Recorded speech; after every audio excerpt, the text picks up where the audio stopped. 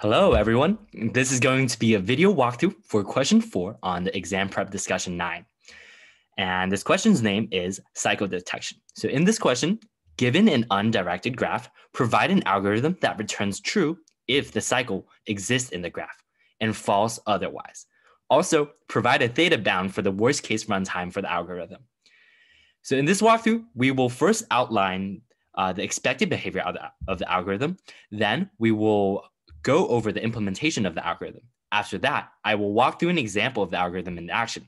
And last but not least, I will do a runtime analysis of this algorithm. And so let's get started. Let's first by starting to understand the behavior of the algorithm. So let's name this algorithm cycle exist.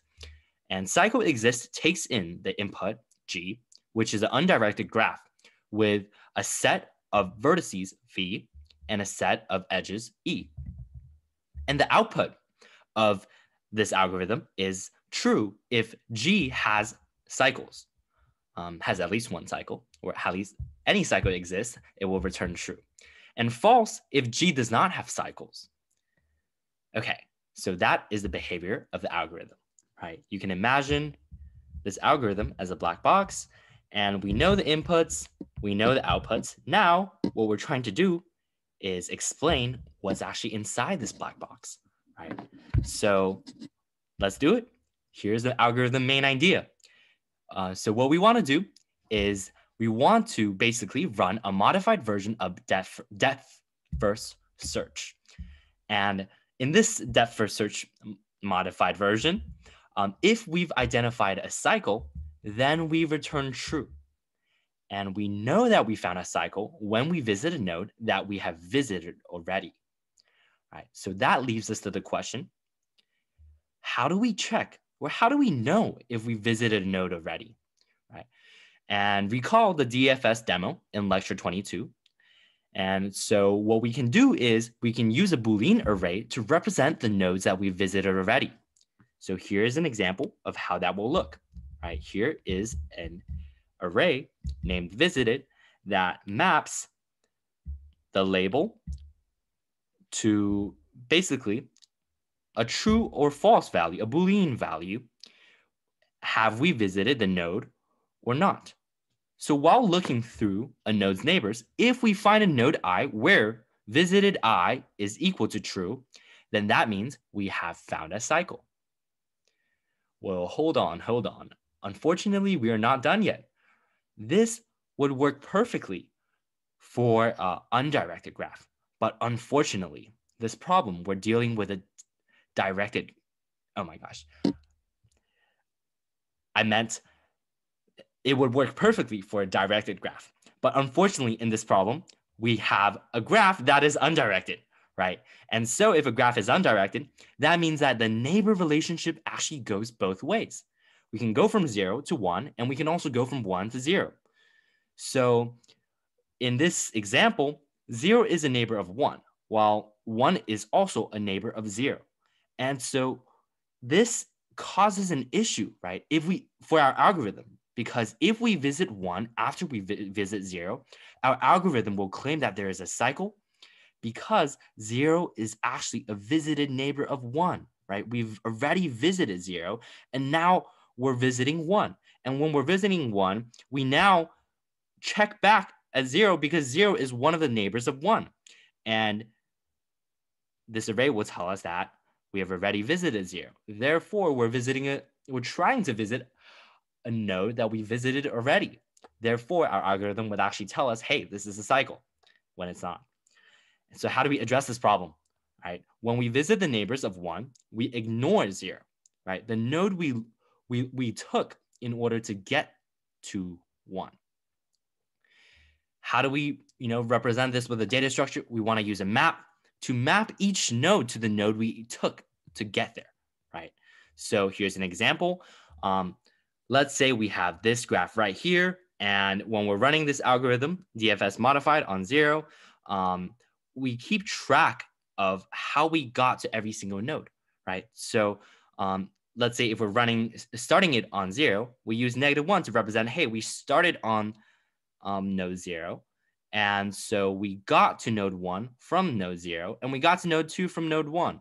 We got to node three from node one, right? So this depth first search would go like this. We start here.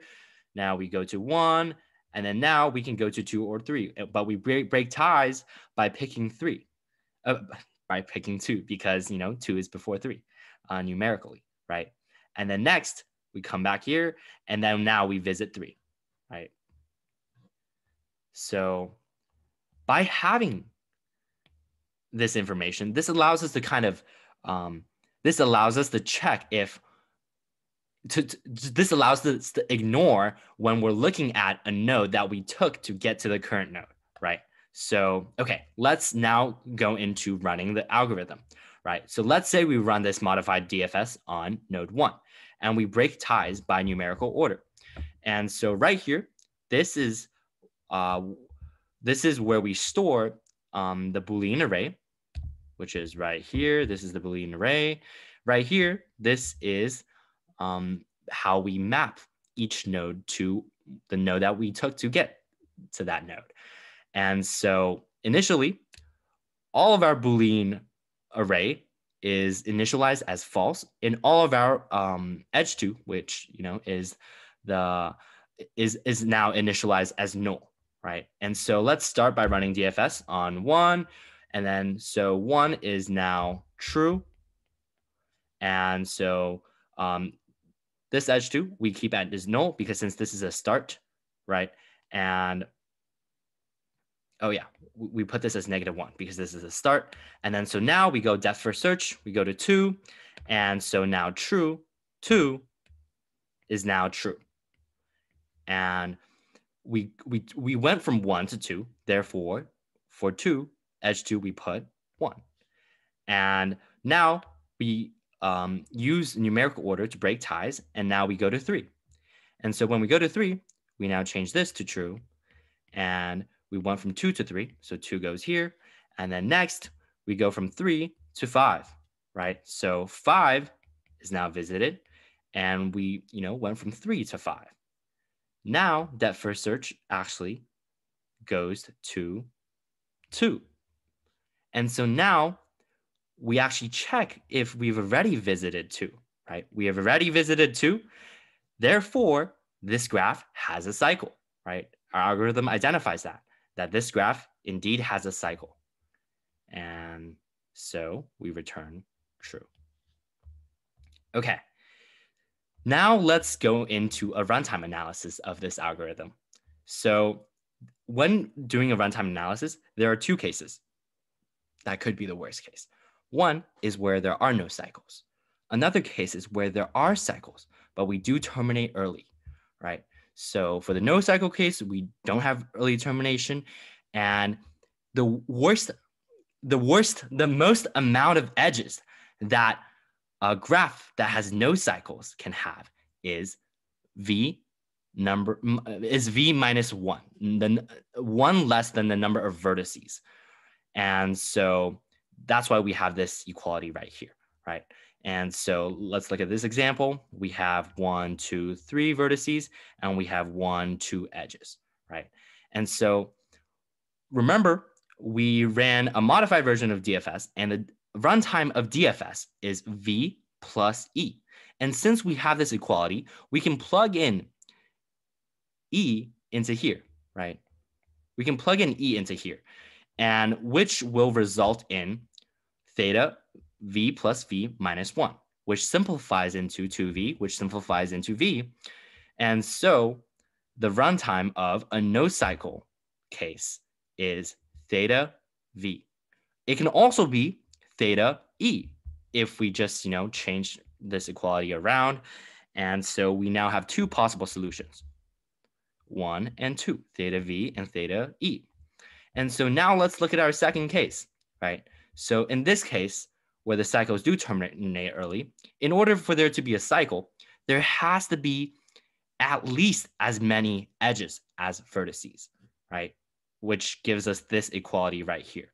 However, on the vth edge we take, we are forced to visit a visited edge, right? Because every single edge you take, you're, you know, let's say you're visiting a new node, And on the vth edge, that means you've already visited um, all the edges. If you take one more edge, the vth edge, that means you will have to, you're forced to go back to one of the edges you visited already. And when we visit a edge, and, and we visited a vertex that we visited already, that means there is a cycle, right? So therefore, ending early. And the runtime of that is theta v plus v. And because we visited v number of vertices and v number of edges, right? Therefore, the runtime simplifies into 2v, which simplifies into v. And so since theta v encompasses both the no cycle case and the cycles case, therefore, it's safe for us to use theta v to represent the worst case of this algorithm. And that's it for this problem. Thanks for tuning in.